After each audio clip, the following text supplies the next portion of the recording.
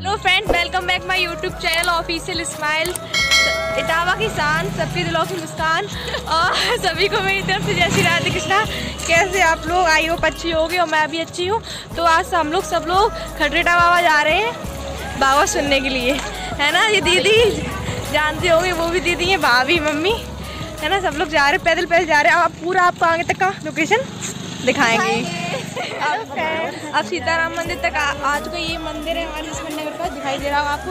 हम सब लोग जा रहे हैं देखने दीदी जी हमारी है ना? और ये भी दीदी इन सबको तो जानते होंगे। इंस्टा पे कामनी यादव से रागनी यादव से। फॉलो करें। वीडियो अगर आपको अच्छी लगे तो लाइक शेयर सब्सक्राइब करना बिल्कुल मत भूलें। हाँ आगे तक का पूरा लोकेशन दिखा मार्केट में आ चुके हैं और बस थोड़ी देर में बस आगे यहाँ पे खंडा बाबा का मंदिर है तो हम लोग आपको वहाँ दिखाएँगे।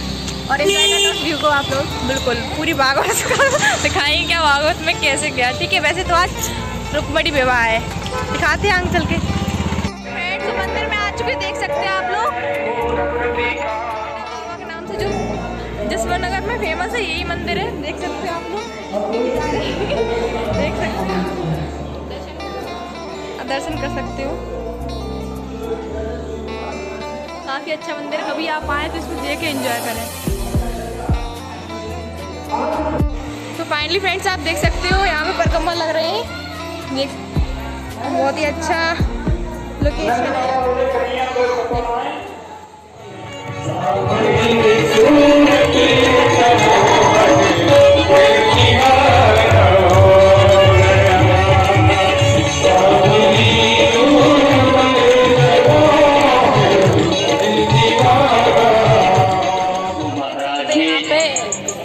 जी आइए शिवपाल सिंह यादव। नहीं डब्बू महाराज से प्रेम झलकता है। हमको डब्बू महाराज ही कहते हैं। हो चुकी है और हम लोग अपने घर को